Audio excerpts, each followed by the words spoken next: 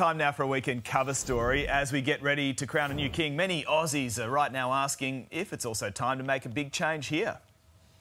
Elizabeth was a constant in our lives for over 70 years.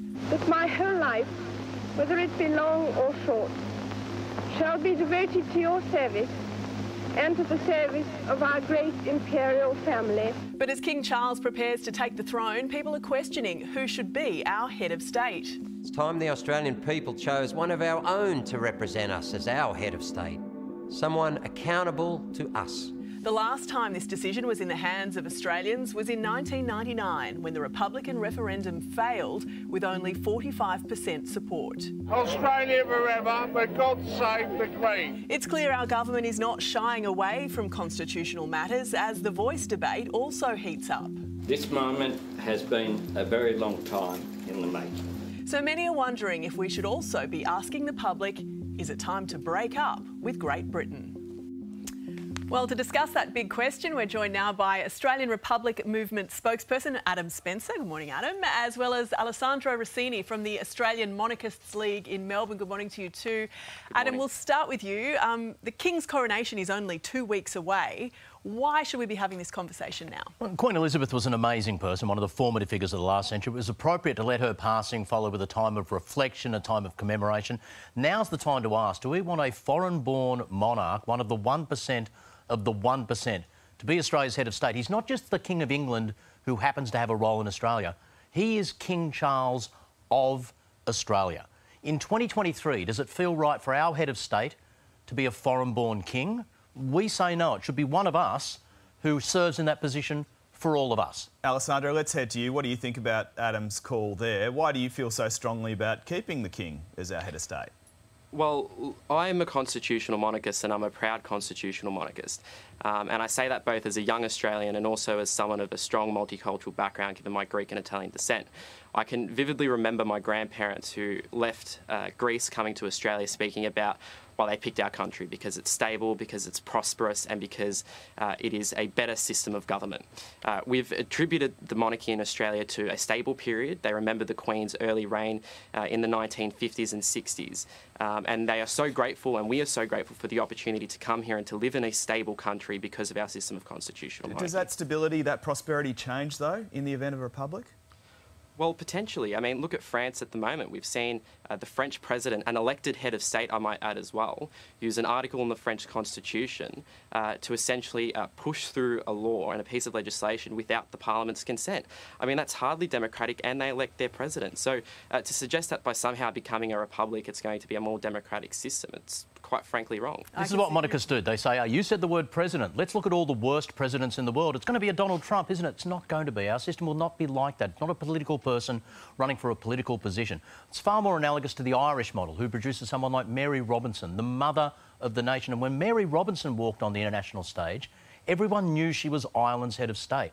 When King Charles, King of Australia, walks on the international stage, he's doing so as the head of 15 different states, but people only ever see him as the head of England. So, I mean, it's one thing to say, let's become a republic, but you have to choose a particular model of a republic. So, what are you guys proposing? At, at the ARM, we spoke to 10,000 Australians. We came up with something very simple. We make a list and we have a vote. The list comes from each state and territory, providing one potential candidate, the federal government three, and from that short list of distinguished Australians, all Australians have a vote. It's a system of democracy, not of monarchy. As I sit here, if we don't change, I can tell you our next three heads of state that will run the rest of this century Charles, William, George. In 2023, it's bizarre in a democracy, in an egalitarian country like Australia, that I can tell us a century's worth of head of states. Um, Alessandro, to you, uh, quite often the argument from your side is if it ain't broke, why fix it? Um, some would argue it is broken.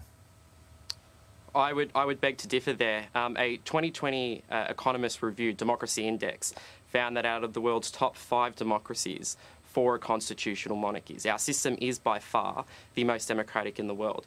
And I would go quickly to Adam, Adam's point about the suggestion that the head of state or the president of Australia won't be political. I mean, we we would be potentially electing this person. Of course, it's going to be political. I mean, we could have a Labor president and a Liberal prime minister. Uh, we've had this revolving door of prime ministers in Australia. I hardly see how it's going to make us any more democratic. But, uh, Alessandro, what about when Australia plays England in the footy? Like, who does our head of state go for? Well, the Governor General in Australia is our executive head of state. According to the Constitution, all the powers of the King are transferred to the Governor General. So the Governor General would be going for Australia, and I'm sure the other 25 million Australians would also be going for Australia too. Uh, and, the, and the King of England, Prince William, in the lead up to the 2022 Qatar World Cup, voted for South Korea over Australia. Where did our future head of state's loyalty lie? One with England, two with England, three with South Korea, stitching up votes for England in 2026. Your, Australian head of state should unquestionably have loyalty first and foremost to Australia. That doesn't happen at the moment because it's the King of England. So you've told us who we, you don't want as Australia's head of state. What should we be looking for in the, of two state? things. One, they should unquestioningly put Australia first. That doesn't happen under our current model. It should be one of us holding that position for all of us. And secondly, it should be their full-time job. If you met King Charles at a dinner party, didn't know what he did, said, what do you do with yourself? I'm the king. Well, that's awesome. What does that involve? And he rattled off the first five things of being the king guaranteed he would not mention I'm also the head of state of Australia. Alessandro, I don't think it's unreasonable that Australia's head of state consider being head of state as their full-time job. Well, again, the executive head of state is the Governor General. He lives in Canberra. He works in Canberra. He's a former member of our Defence Force, and he is unquestionably an, an, Australian. He's the one who grants royal assent to our laws, and I will also add that royal assent has never been refused. Um, he's the one who stood on the steps of Parliament House in Canberra and proclaimed King Charles III as King of Australia. And in um, doing that, in doing that, he swore an oath of faith and obedience to a foreign born king. In 2023, an egalitarian, democratic Australia should not have our Governor General and our Prime Minister swearing an oath of faith and obedience to a foreign born monarch. We should be led by one of us who holds that position for all of us. Well, it's uh, it's an issue that, as you can see, is, is continues to bubble away and will do for some time. Yeah, we know the uh, the government has promised to address Yes. it if they're elected for a second term in Parliament. So this debate isn't going away. Thank you both for joining us this Appreciate morning. it. The royal family has this morning paid tribute to Queen Elizabeth II on what would have been her 97th birthday. Taking to Twitter, the Prince and Princess of Wales shared a photo taken by Kate of the late monarch with some of her grandchildren. King Charles and Queen Consort Camilla also shared a beautiful photo alongside the words, Today we remember the incredible life and legacy of Her Majesty Queen Elizabeth II.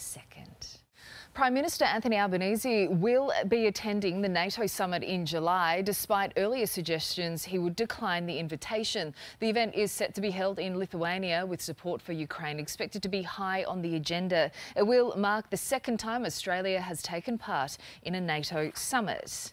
Hey there, Today fans. Sarah and What's my name again? Oh Karl. Hey, thanks for watching our YouTube channel, though. Subscribe now for more news, special reports, and amazing Aussie stories. And Karl misbehaving, Whoa, of course. That never happens. Always happens. What's she talking about?